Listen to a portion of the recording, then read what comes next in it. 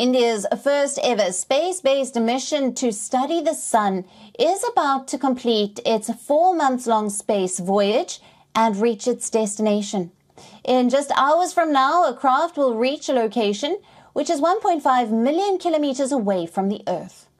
Launched on the 2nd of September on board a PSLV rocket, the craft has been on a long journey to a vantage point in space.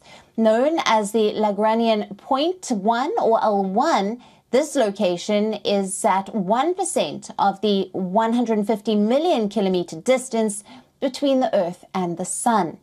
Now, putting a spacecraft there ensures an unobstructed view of the Sun and the ability to study solar phenomena and predict space weather. There are multiple Lagrangian points in the Earth and Sun system. So far, NASA and the European Space Agency have launched sun study crafts to these points, with the seven scientific payloads or equipment on board the Aditya L1 craft. It is for India to make its mark at the L1 point. Gradually, as the mission begins its observations and sends data back to Earth, it'll derive valuable insights about the Sun and its evolving phenomena.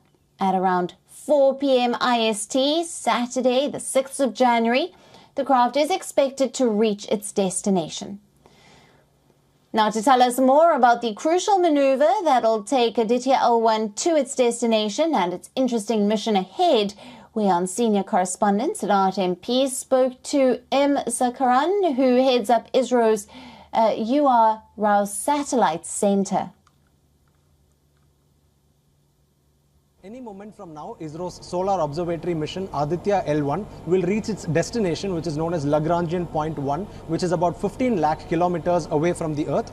To tell us more about this, we are joined by uh, Dr. Shankaran, the director of UR Rao Satellite Center of ISRO. So please tell us, uh, how is it that ISRO will actually steer this craft now to its destination?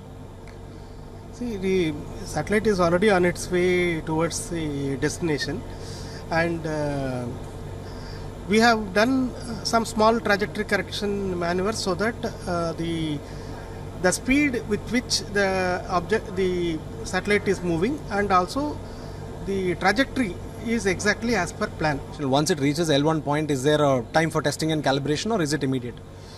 Some some amount of testing and calibration is already done, but uh, after reaching the L1, uh, one of the main payload that is a VLC payload, uh, the door has not yet been opened. That has to be opened uh, after the lunar uh, the halo orbit in, uh, injection only. After that, probably uh, few weeks of uh, calibration will be done because the in the final orbit we have to do all payloads calibration and then the data will be analyzed by the PAs during the calibration phase and any corrections required need to be done and then only the data will be made accessible to public.